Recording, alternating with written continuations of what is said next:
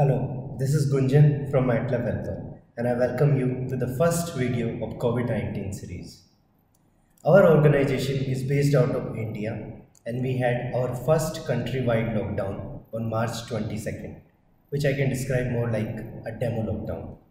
Seeing the trend and the impact it had created in countries like Italy, Iran, etc., I wanted to predict what was in the store for India if you refer to any newspaper or online COVID statistics portal, you would have seen a curve which is exponential in nature. Being a MATLAB user, I wanted to utilize its visualization capabilities to showcase how things are changing every day with COVID 19. I have used Wikipedia as a reference for the data. You will see a table on your screen depicting the total number of cases until March 22nd.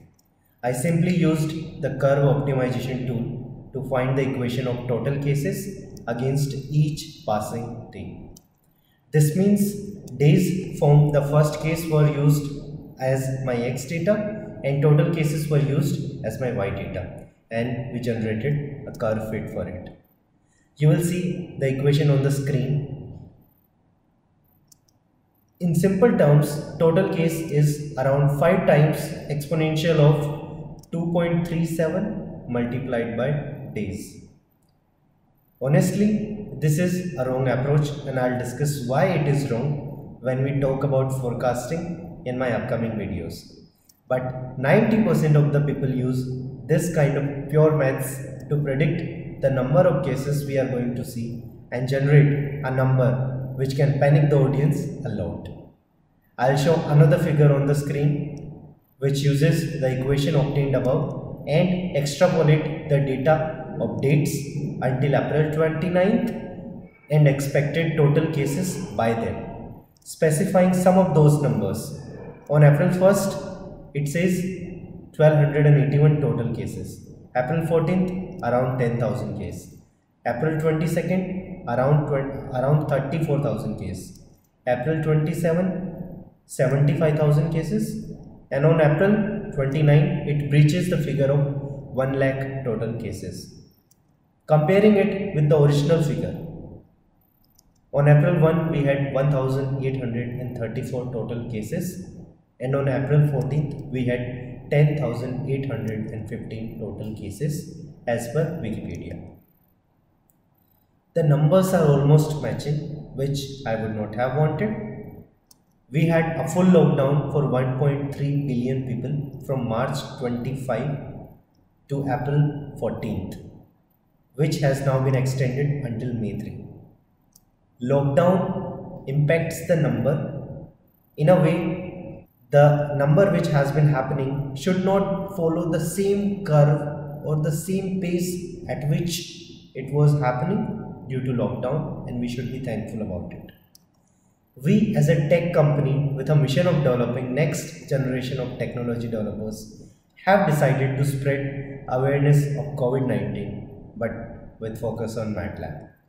Our monthly quiz of April 2020 is based on coronavirus and MATLAB.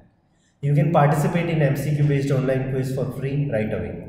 The link is shown on the screen or you can visit the website and head to our quiz section for starting MH quiz contest April 20.